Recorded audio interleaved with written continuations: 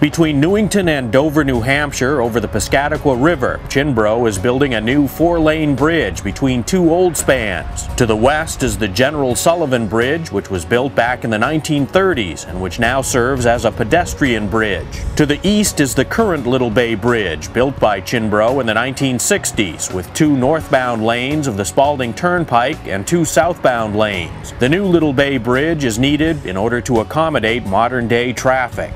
This area on the Spaulding Turnpike becomes very congested, especially during summer months, and by adding this bridge of four more lanes in between the two existing bridges will eventually allow, in years to come, four lanes north and four lanes south to alleviate any bottlenecks at this location right here on the Spaulding. The new Little Bay Bridge will be comprised of eight piers. Each pier will be made up of three columns. The columns will be drilled shafts and will have rock anchor foundations. In addition to the main bridge construction, the Cianbro team is responsible for building pedestrian access on both the north and south ends of the General Sullivan. Cianbro will also handle both the north and south abutments for the new bridge, including all of the associated earthwork for the on-ramps. There is also an extensive traffic monitoring system and electrical package for the project. There's three phases to this project overall. We actually have uh, secured the contract for the first phase where we're going to construct a bridge parallel to the existing Little Bay Bridge in between the Little Bay Bridge and the General Sullivan Bridge, which is now a pedestrian bridge. Eventually,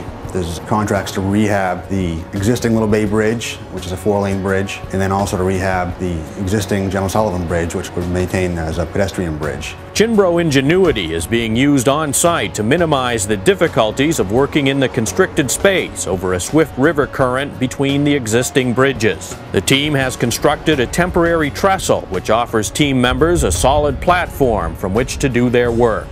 We've constructed a trestle to get out there on the water. The trestle is really an example of what Cianbro is all about. We brought together our temporary design group, our equipment group, our fabrication company, and our Cianbro Corporation uh, to install this trestle, which is going to be a permanent item within our equipment fleet to use on other projects as well. This trestle allows us to get out there and actually drill each pier of three shafts in each location of the new bridge.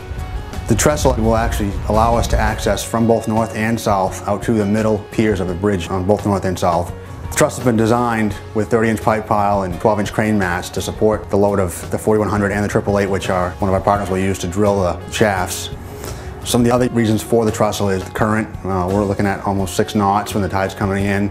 We're also at very tight constraints within the two bridges to work. It's impossible to work on this project with a barge. Another complicating factor for the project centers on the American shad, a fish that migrates into northeastern rivers like the Piscataqua to spawn in late spring and early summer. That means that the Cianbro team and subcontractors must move away from the fish channel in the center of the river by May 1st. That's to avoid interfering with the shad's migration patterns. Still, the crews are looking ahead to a busy summer construction season. Everything looks on track to allow subcontractors to achieve substantial results as they come in to drill the shafts for the bridge columns. Earthworks contractors are focusing on the abutment areas, and Cianbro's team will be planning for lots of formwork and concrete placement this summer.